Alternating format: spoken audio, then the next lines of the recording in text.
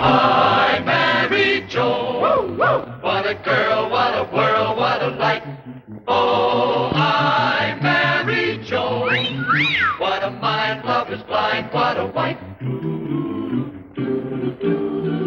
Joan Davis with Jim Backus in I married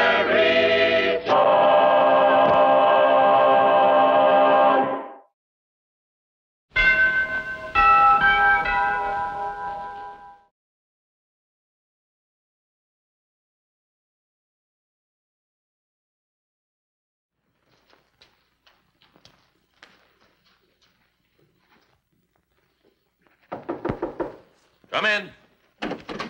Here he is, Judge. Oh, thank you, Clark. I want to talk to Joe alone. Oh, but, Judge, you just gave him a stiff sentence. How do you know he won't pull something? That's all right, Clark. Joe, sit down there. Okay. I'll be right outside, sir. Mind if I smoke, Judge? No, that's all right. Yes. No, thank you. Now, the reason I called you here, Joe, I talked to your son Tommy before. He's mighty fond of you. Yeah. Good kid, that Tommy. A real good kid. Only 10 years old and what moxie. Chip off the old block. I know, Joe. And that's what I'm afraid of. He might wind up being a criminal like you. What's wrong with being a criminal, Judge? My old man was a crook. His old man was a crook, and his old man's old man was a crook. Being a crook in our family isn't just a career, it's a tradition. Well, that's one way of looking at it, Joe, but I'm afraid you're wrong. Now, the reason I called you here was to talk about your son. Tommy can take care of himself. He's tough, that kid, I'm telling you. Maybe too tough. Well, anyway, my sister's coming out here from Ohio next week. He can live with her. No, I'm afraid that wouldn't work. The way Tommy is now, I would have to recommend a reform school. Reform school. Judge, my sister ain't like me, honest. Give me a break. He needs an awfully strong hand. Judge, I don't want my kid going to no reform school. Please. I'll tell you what I'll do, Joe. I like Tommy, and, well, if it's all right with my wife, I'll take him home with me to visit for a week until your sister arrives. Then if I see any hope for Tommy, I'll let your sister have custody of him. Thanks, Judge. You take him. And thanks again. Say, I better start getting dinner ready. No, I'm not going to fuss. Today's the day I just take all the odds and ends out of the refrigerator, put them together, and serve it. I call it Hungarian goulash. I know it isn't Hungarian goulash, but how can you prove it? I get by with it with Brad. He never knows what he's eating half the time anyway. the only danger is he might like it too much, ask me to make it again, and I'm dead. Think I'm dead anyway. Goodbye. Well, sweetheart, how are you? Hello there. Oh, I hope you never guess what I'm having for dinner tonight. Uh, It's some- uh, Joan, uh, Joan, there's, there's something I want to discuss with you. Well, what is it, Brad? Well, it, it's just I, I don't know how to break it to you. Break it. Well, well, look, let me put it this way. It, it seems to me that a nice home like this is, uh, Yes? well, it would be a wonderful environment for a child. A child? Oh, Brad, darling. Yes, it would be wonderful, wouldn't it? I know I'd like coming home tomorrow and finding a kid around the place. Tomorrow? I know on such short notice it'd be tough on you. It's practically impossible. Joan, what are you talking about? A child. Maybe a little girl. No, it's a boy. You trying to do? Run this whole thing? Why can't you be like any other man and stay in the waiting room and be told?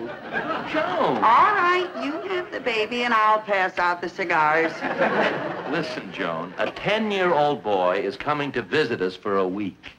What? That's what I've been trying to tell you. You know, it's just starting to get a yen for sour pickles.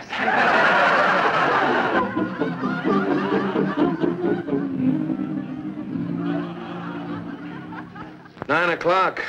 Officer Clark and the boy should have been here by now. Listen to this, dear. The rebellious or antisocial child. This type is the result of being denied love, kindness, and understanding. This has led to a resentment of society. Oh, Brad, I'll bet that's what's wrong with poor little Tommy. All he needs is love. I'll get it, dear. Oh, hello, Mrs. Stevens. How do you do? This is Tommy. Well, Good evening, Judge. Good evening. He's all yours. You know, he kicked me in the shins. Hey, you, come back here. oh, that's no way to treat a child, officer. All he needs is love, kindness, and understanding. Huh, Tommy? What's with this dame? What's your manners? Okay. Well, I'll be running along now. Goodbye, Judge. Goodbye, Mrs. Stevens. Goodbye. Yes? Oh, I just wanted to remember this place as it was.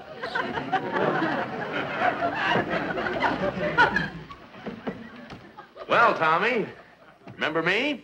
I'm Judge Stevens. Yeah, you're the fink who sent up my old man. The Fink, Brad. Uh, what? And I'm Mrs. Stevens, the Fink's wife. The Fink and I, uh, the judge and I are awfully happy to have you here with us. Well, I know we can talk about that tomorrow because it must be way past your bedtime. And you know what I'm going to do? Tell you a bedtime story. So off to Betty Bye we go. Listen, lady, I never hit the sack before 11 o'clock. Oh, but Tommy. Uh, Joni, let me handle this. Tommy? I ain't moving till I see a lawyer. Now listen, you. Get up there. You understand? No arguments. Now get going. Yell like that, dear. You'll make the child feel unwanted. Wanted? The shin, I'll be unwanted in court. I... But nobody hits the hay this early. You're squares. Now, don't you worry, Tommy. I'm going to tell you a nice bedtime story about Goldilocks and the Three Bears. Uh, I think I'll go out for a smoke. I'll go with you. okay. Now, once upon a time, there were three bears. I don't like them kid stories. Well, what kind of stories do you like? Real stories, like my pop used to tell me. I can just imagine what they were like. All right, Tommy, I'll tell you a real story. Once upon a time, there was a beautiful doll by the name of Goldilocks and three bookies, Manny, Mo, and Sam. Manny was a great big bookie, and Mo was a medium-sized bookie, and Sam was a teensy-weensy bookie. Only took 50 cent bets. Now, Sam wanted to be a great big bookie like Manny. He also had a yen for Manny's girl, Goldilocks. Dames, they always make trouble. Well, one night they're all sitting around in Joe's diner, eating their curds and whey, and in walks great big Manny, and he pulls a rod. All right, you guys. I'm taking over the south side, see? From now on, see? What I say, see, goes, see? Now, if there's anybody that has any objections, let's hear from him now, see?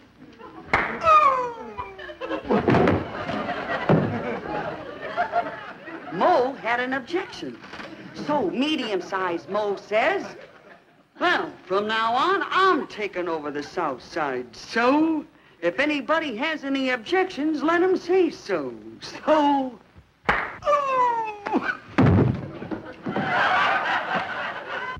Sam had an objection.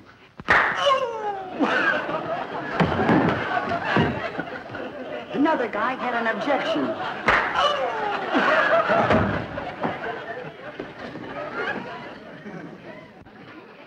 Finally, there was nobody left but Goldilocks.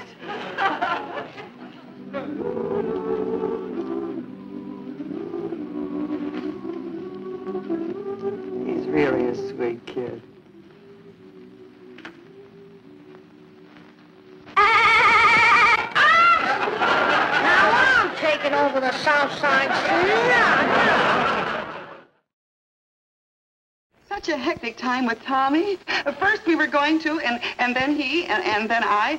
Well, I couldn't help it, and I didn't know that he was. Uh, Joan, Joan, simmer down. I can't understand a word you're saying. Well, it all started this morning when I invited those nice boys on the block to come over and play games with Tommy and me.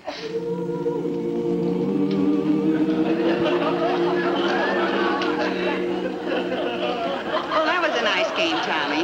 Now it's Bobby's turn to choose the game. Is the car out fun, Lefty? Yeah, it's outside with the motor running. Tommy, untie me, dear. It's Bobby's turn now. Okay, boss, we gotta lamb out of here and get to our hideout. Boys! Wait a minute.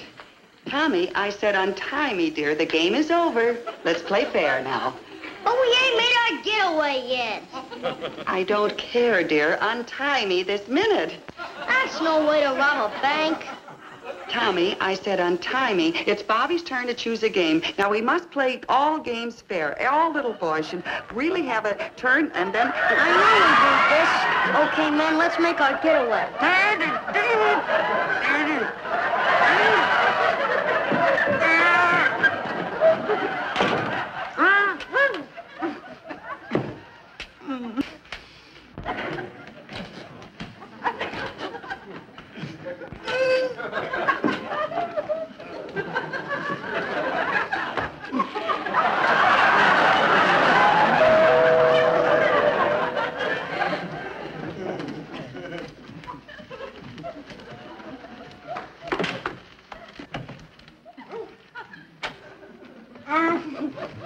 Pardon me, lady, for bothering you like this, but I got... Oh, if you're busy, I can come back later. Oh, yeah. What did you say? Oh, thanks. There were three boys, and we were playing a game. I thought I saw those kids come out of here. You see, I've got my vegetable truck parked down the street a ways. Two of those kids come along, they asked me the price of the cauliflower, while the third one swipes a basket of tomatoes. Say, do those kids belong here? Well, I can explain. You see, my husband is a judge, and he sent this man to prison. All I wanna Now, know is, do those a kids- son, and he's going to stay here with us for a while, and then his Look, aunt is going to those take him out because we're trying to show him that it's much better to live in a place like this and be cornered. Do those kids belong here? well, in a way, yes, but I don't really think that you should. Uh, but, Who's going to pay me for the tomatoes? well, I don't know why I should be responsible for the tomatoes because I. Look, lady, somebody's got to pay me for the tomatoes. All right, I'll pay you for them, but why should I be? I. I... That'll be one dollar and thirty-nine cents, okay? Okay. Hey, you know, that's all right. I think I'll get one of those for my wife.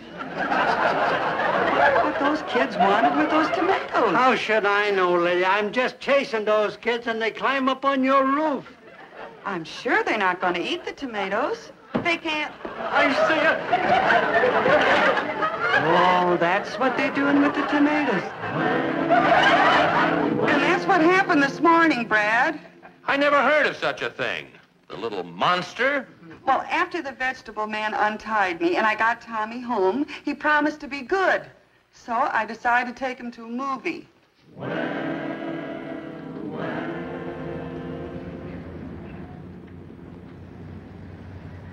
do we have to wait here for?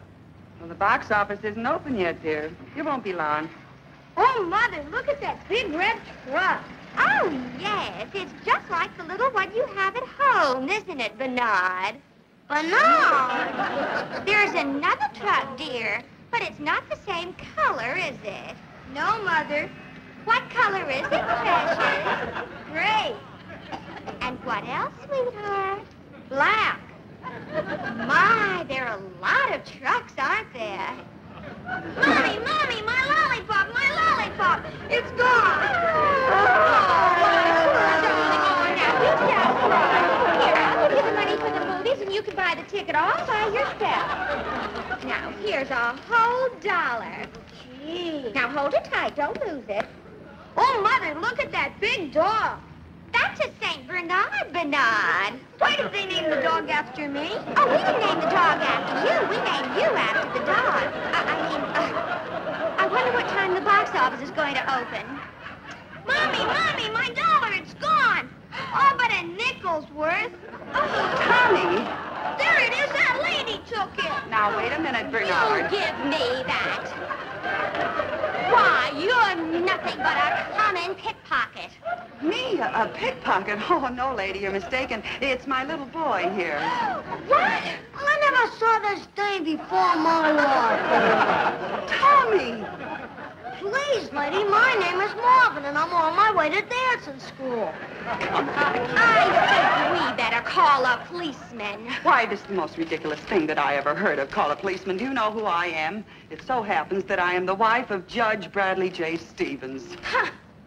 Well, I am so. I'll prove it to you. Here, show you my driver's license. Where is it? There.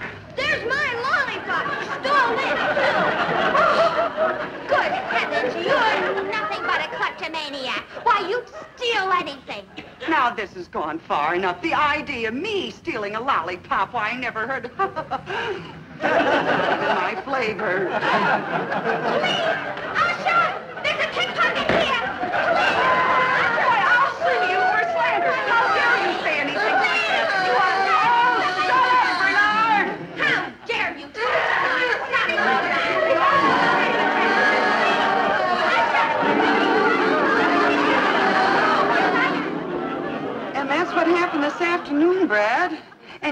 come right home and talk to me about it because I'm not home. You'll have to come here. I can't, Joan. I'm very busy. But there's a very good reason why you have to come here.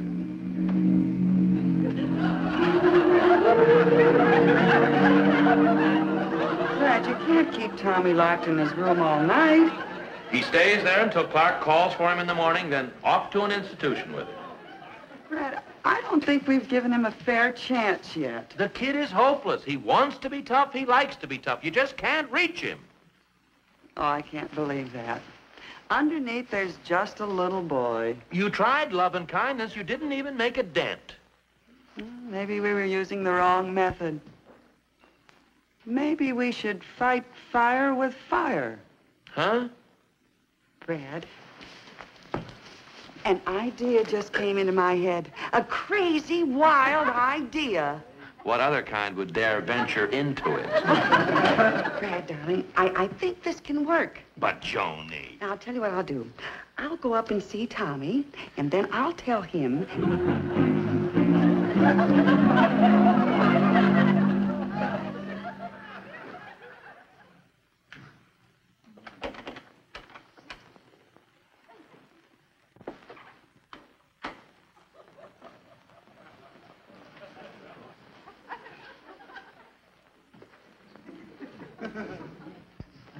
Yes, you'll do. Huh? I wasn't sure that you were tough enough, but what you did today convinced me. You're the little man for the job, all right. What job, Mrs. Stevens? I'm tired of this kind of living. I'm sick of it, do you hear? Sick, sick, sick. I like your kind of living. What do you mean? A life of crime. And I've planned the perfect crime. The judge is very wealthy. And he has big, fat insurance policies. Oh, they're fat. Big and fat. and you and I are going to get rid of him. You mean murder the judge? Such a bright boy. Such a bright little boy. And so fat. You want to kill your own husband? I was going to get someone else to do it, but the judge has been so nice to me, I'd rather do it myself. And you're going to help me. Honest, Mrs. Stevens, I don't want to do nothing like that. I never done nothing like that, and my pop never done nothing like that neither. But I thought you were tough. Very tough. And fat. Well, gee, I don't know. What? Are you with me or are you chicken?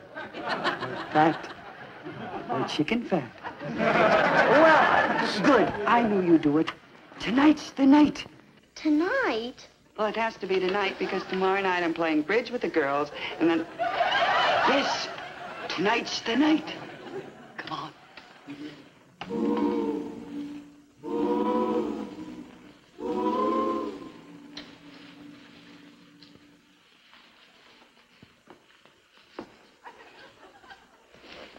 Wonderful that Tommy's promised to be a good boy and he doesn't have to be locked up anymore? Oh, yes, it, it sure is.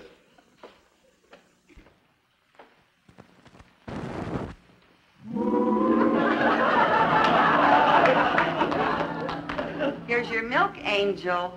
Oh, well, thank you. Yes, there's nothing like a glass of warm milk before bedtime for a good long sleep. May run longer than he thinks.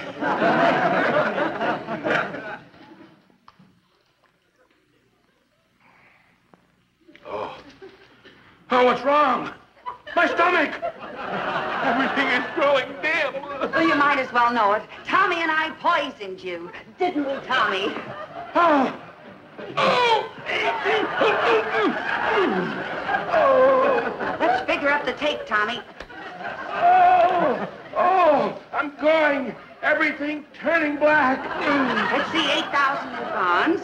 Insurance, 20,000. Cash. Hey, you, you're not dead yet. How much cash you got? Oh, the pain! The pain! Uh, uh, $7,000. Oh, the pain! I'm going! I'm dying! Wristwatch, $100. Oh, oh, everything's turning black.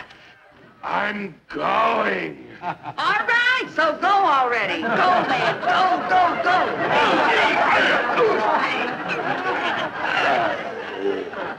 When he goes, that man is really gone. Come on, Tommy. Let's divvy up the take. I don't want any. I thought you were tough. How could you do that to the judge? Tommy, you're crying. Well, I like the judge. He was nice to me. I thought you were nice too, but you're not. But I thought you didn't like nice people. well, I was starting to. Go ahead and cry, Tommy. Little boys don't have to be tough all the time. Sometimes it's good for them to cry. Tommy, dear, listen. Listen to me, honey. We didn't really kill the judge. He's only fooling. Of course we were, Tommy. Gee, you're not dead. No. We were just trying to teach you a lesson. You see, Tommy, crime does not pay. I'll say it doesn't. From now on, I'm going straight. Uh, here's your wallet, Judge. Here's your pearls, Mrs. Stevens.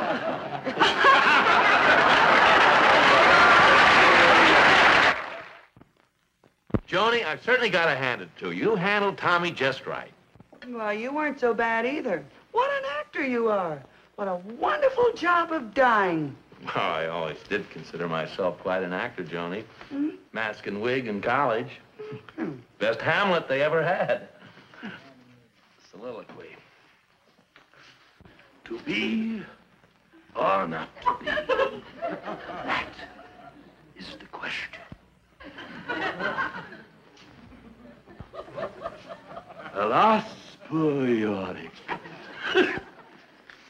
I knew him well. Tomorrow, and tomorrow, and tomorrow creeps on this petty pace. Wait! Is there blood upon this dagger? What to do to take arms against a sea of trouble? Brad, By opposing, end them. A pound of flesh, I say! Ah, shuffle off this mortal coil me dagger! Brad, Huh? What? you're dying again.